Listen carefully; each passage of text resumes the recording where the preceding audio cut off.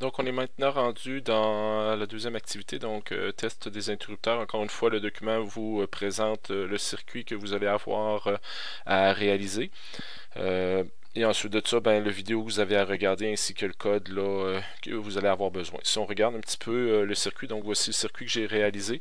Euh, vous, avez, bon, vous avez une source de courant, vous avez relié votre montage à l'ordinateur. Vous n'avez pas besoin des deux moteurs, vous avez seulement besoin du moteur qui s'en va sur l'axe DY parce que c'est lui qui fait tourner le panneau solaire soit vers le haut ou vers le bas. Et dans notre circuit ici, ce qu'on a fait, on a ajouté une résistance et également, ben, on a ajouté notre interrupteur. Ce qui est important ici, euh, là on le voit pas, mais sur le schéma on le voit bien. Euh, les deux fils qui ici vont être, euh, le noir va être dans le ground, puis le fil rouge va être dans la sortie 5 volts. C'est important ici, là, parce que sur le schéma ça apparaît pas, là, puis probablement ça va peut-être vous mêler, mais présentement il y a sur la, plaquette de prototypage, euh, toutes les lignes qui sont ici, donc euh, les deux lignes de côté, donc cette ligne-là, lorsqu'on va relier le fil rouge avec, ben, tous les, les euh, trous qu'il y a ici vont être une borne positive, puis le fil noir qui est ici, ben, ça va être une borne négative. Si vous les inversez, ça va être l'opposé. même chose de l'autre côté, puis les plaquettes de prototypage, pour ce qui est des lignes qui sont au centre, ben, les cinq trous qu'il y a ici sont tous reliés ensemble.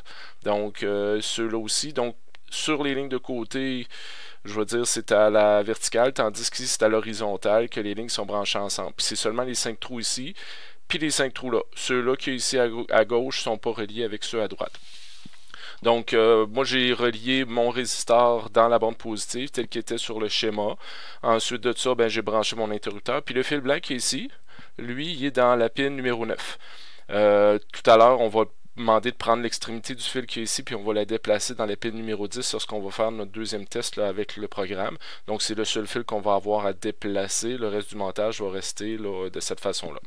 Donc si on revient à notre document, on va venir chercher le code pour l'interrupteur, comme on avait fait pour l'autre. Donc c'est un fichier téléchargeable. On va télécharger.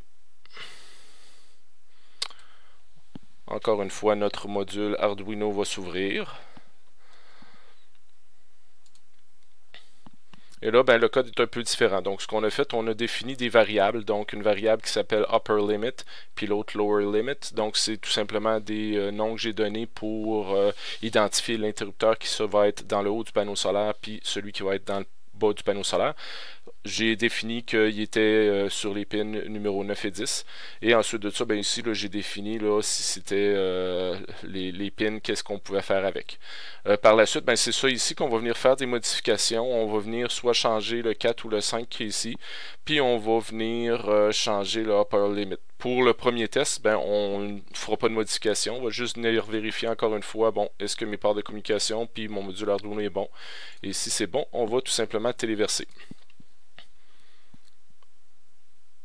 Donc, compilation du croquis. Donc, le code, ce qu'il va faire, c'est qu'il va euh, faire tourner le moteur. Quand on va euh, appuyer sur l'interrupteur, ben, il va l'arrêter pendant deux secondes, puis après ça, le moteur va euh, recommencer à tourner. Donc, si je débranche mon fil, donc téléchargement terminé, je mets ma source sous tension, on peut entendre mon moteur tourner actuellement. Puis quand je vais appuyer sur l'interrupteur, il arrête pendant deux secondes, puis il recommence à tourner. Donc, à chaque fois que je pèse sur l'interrupteur, ça fonctionne. Donc, je vais arrêter le moteur. Je vais rebrancher mon système. Maintenant, ce que je vais faire, je vais venir changer les chiffres ici pour 4 et 4. Et la mention upper limit, je vais la changer pour lower limit. Donc, L-O-W-E-R. S'assurer de bien l'écrire comme la variable qui est écrite ici. Pas de majuscule, puis tout dans un seul mot. Et là, ce que je vais faire, parce que lower limit, c'est la pin numéro 10, bien, sur mon montage, je vais venir changer mon fil blanc tout à l'heure, je l'ai passé du 9 au 10.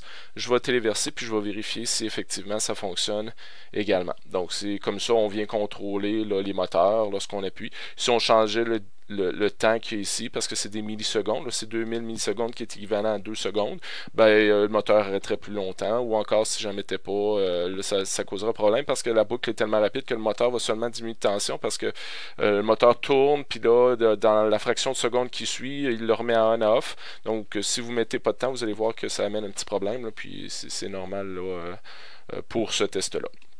Ça fait que vérifiez vos éléments pour voir si votre circuit fonctionne bien pour les interrupteurs.